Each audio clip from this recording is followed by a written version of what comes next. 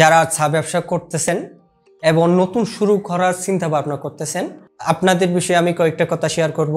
তো সবাই আমার ভিডিওটা ফুল দেখবেন। বিশেষ করে যারা চা ব্যবসাটা করতেছেন এবং নিয়মিত ফিল্ডে কাজ করতেছেন, আপনাদের প্রতি আমার অনুরোধ বা পরামর্শ হচ্ছে, আপনারা যারা বর্তমানে যাদের কাছ থেকে বা যে কোম্পানির থেকে মাল নিচ্ছেন, আপনি ওদের বিষয়ে সব কিছু জেনে সব কিছু জেনে তারপর ওদের সাথে ব্যবসা করুন। মাঝে মধ্যে শুনতে খারাপ লাগে যে ভাইগুলা দীর্ঘদিন ধরে চা ব্যবসার সাথে জড়িত আছে এবং ব্যাংকে লেনদেন করে সে ভাইয়েরা কীভাবে প্রতারণার শিকার হয়। আপনারা অনেকে বলেন চা জগতে অনেক প্রতারণার শিকার হয়। হ্যাঁ কেন প্রতারণার শিকার হয় সেটা বিষয় নিয়ে আজকে আমি একটু করে বলি। আমাদের মতে প্রতারণার শিকার হওয়ার জন্য আপনারা নিজেরাই দায়ী। কেন?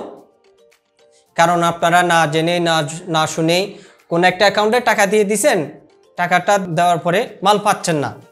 কেন পাচ্ছেন না? উনি যে শুধু ব্যাংকে টাকা দিছে, তার কাছে এই প্রমাণটা আছে। কিন্তু টাকাটা কি আদৌ ওই কোম্পানির অ্যাকাউন্টে ঢুকছে, নাকি অন্য কারও বা তৃতীয় কোনো পক্ষের অ্যাকাউন্টে ঢুকছে, সেটার কিন্তু সে কিছু জানে না।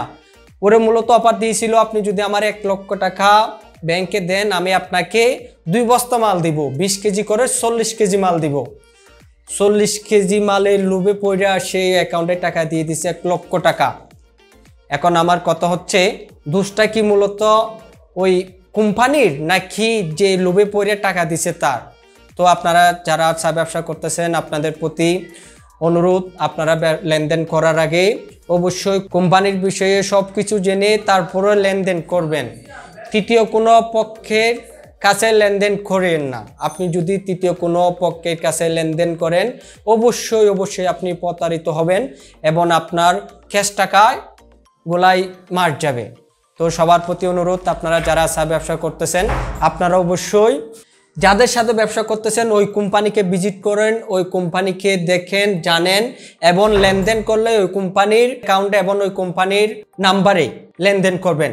কারও পার্সোনালি লেনদেন করবেন না। ভিডিওটা এখানে শেষ। সবাই ভালো থাকবেন, সুস্থ থাকবেন এবং রাজধানী সাইয়ের সাথেই থাকবেন। আল্লাহ হাফেজ। আসসালামু আলাইকুম রহমতুল্লাহ।